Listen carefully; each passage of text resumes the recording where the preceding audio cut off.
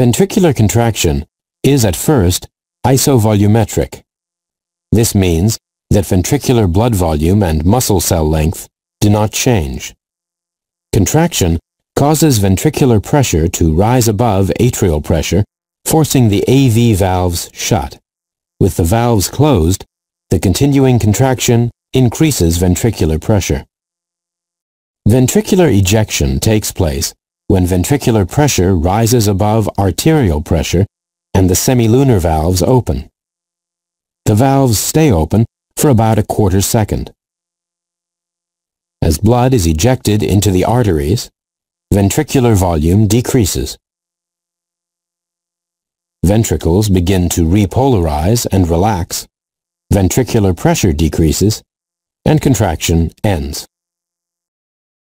Repolarization of the ventricular muscle cells initiates isovolumetric relaxation. As the ventricles relax, pressure in the ventricles drops. Semilunar valves close, preventing backflow.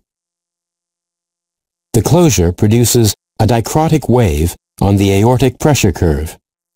With both semilunar and AV valves closed, blood volume does not change.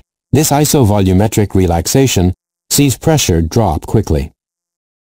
Ventricular filling occurs as all four chambers of the heart are relaxed and the AV valves open.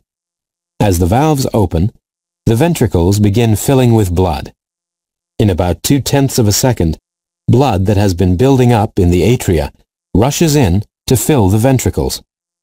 Atrial depolarization triggers atrial contraction, forcing a small amount of extra blood into the ventricles.